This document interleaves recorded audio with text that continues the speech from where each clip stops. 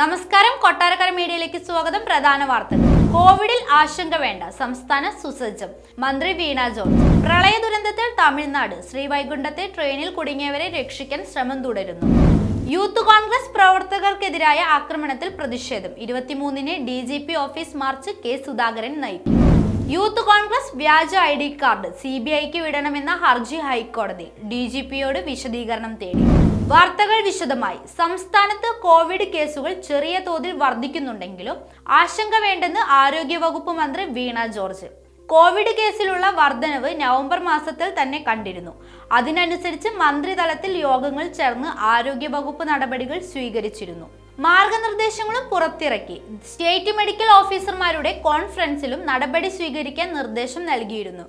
രോഗലക്ഷണങ്ങളുള്ളവർക്ക് Covid പരിശോധന കൂടി നടത്തുവാനും ജനിതക ശ്രേണീകരണത്തിനു വേണ്ടി സാമ്പിളുകൾ അയക്കാനും നിർദ്ദേശം നൽകിയിരുന്നു. മാത്രമല്ല ഈ മാസത്തിൽ കോവിഡ് പരിശോധന കൂട്ടുകയും ചെയ്തു. സുരക്ഷാ ഉപകരണങ്ങളും മരുന്നുകളും ആവശ്യത്തിന് സ്റ്റോക്ക് ഉണ്ട് കൂടുതൽ സുരക്ഷാ ഉപകരണങ്ങളും പരിശോധനാ കിറ്റുകളും സജ്ജമാക്കാൻ നിർദ്ദേശം നൽകിയിട്ടുണ്ടെന്നും മന്ത്രി പറഞ്ഞു. പ്രളയ ദുരന്തത്തിൽ തെക്കൻ തമിഴ്നാട് കനത്ത മഴയിൽ ഒമ്പത് മരണങ്ങളാണ് ഇതുവരെ റിപ്പോർട്ട് ചെയ്തത്. വീട്ടിൽ വെള്ളം കയറിയും മതിലിടിഞ്ഞുമാണ് അപകടങ്ങൾ. ഏഴായിരത്തി അഞ്ഞൂറോളം പേരെ ദുരിതാശ്വാസ ക്യാമ്പുകളിലേക്ക് മാറ്റുകയും ദുരിതാശ്വാസ പദ്ധതികൾ ചർച്ച ചെയ്യാനായി തമിഴ്നാട് മുഖ്യമന്ത്രി എം കെ സ്റ്റാലിൻ ഇന്ന് പ്രധാനമന്ത്രിയെ കാണും. രാത്രി പത്തേ മുപ്പതിനാണ് കൂടിക്കാഴ്ച. തമിഴ്നാടിന്റെ തെക്കൻ ജില്ലകളായ കന്യാകുമാരി തിരുനെൽവേലി തൂത്തുക്കൊടി തെങ്കാശി എന്നിവിടങ്ങളിലാണ് ഏറ്റവും കൂടുതൽ നാശനഷ്ടമുണ്ടായത്.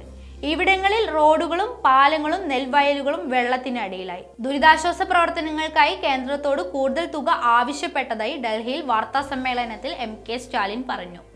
അടിയന്തര സഹായത്തിനായി ഏഴായിരത്തി മുന്നൂറ് കോടി രൂപയും ശാശ്വത സഹായത്തിനായി പന്ത്രണ്ടായിരം കോടി രൂപയുമാണ് ആവശ്യപ്പെട്ടത്. കരിങ്കൊടി പ്രതിഷേധം നടത്തുന്ന യൂത്ത് കോൺഗ്രസ് പ്രവർത്തകരെ ആക്രമിക്കുന്നതിൽ പ്രതിഷേധം ഘടിപ്പിക്കാനൊരുങ്ങി കോൺഗ്രസ്. കായംകുളത്ത് അംഗപരിമിതനായ യൂത്ത് കോൺഗ്രസ് പ്രവർത്തകനെ പോലീസിന്റെ സാന്നിധ്യത്തിൽ ഡിവൈഎഫ്ഐക്കാർ ആക്രമിച്ചതിലും മുഖ്യമന്ത്രിയുടെ ഗവൺമെന്റ് യൂത്ത് കോൺഗ്രസുകാരെ അടിച്ചതിലുമാണ് നടപടി. നവകേരള സദസ്സിന്റെ സമാപന ദിവസം ഡി ഓഫീസിലേക്ക് മാർച്ച് നടത്തും. K P C C president K Sudhakaran march നയിക്കുകയും എം എൽ എമാരും എം പിമാരും പ്രതിഷേധ മാർച്ചിൽ പങ്കെടുക്കുകയും ചെയ്യും. അതിനിടെ നവകേരള യാത്രയിലെ യൂത്ത് കോൺഗ്രസ് പ്രവർത്തകർക്കു നേരെയുള്ള മർദ്ദനത്തിൽ സംസ്ഥാന നേതൃത്വത്തിനെതിരെ കെ. മുരളീധരൻ എം. പി. രംഗത്തു വന്നിരുന്നു.